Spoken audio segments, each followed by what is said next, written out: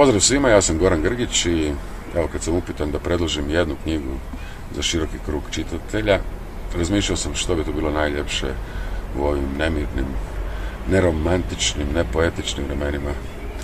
I odlučio sam se za knjigu poezije Dušin Šipak, Tin Ujević, izabrane pjesme sa sjajnim pogovorom Tonka Marojevića.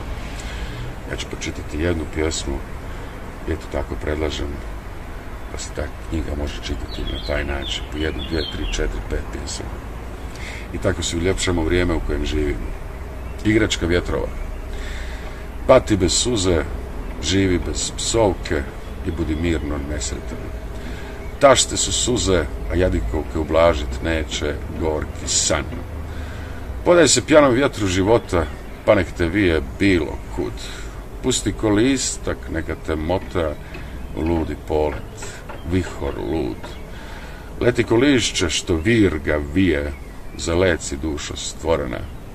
Za zemlju nije, za pokoj nije, svijet što nema korijena.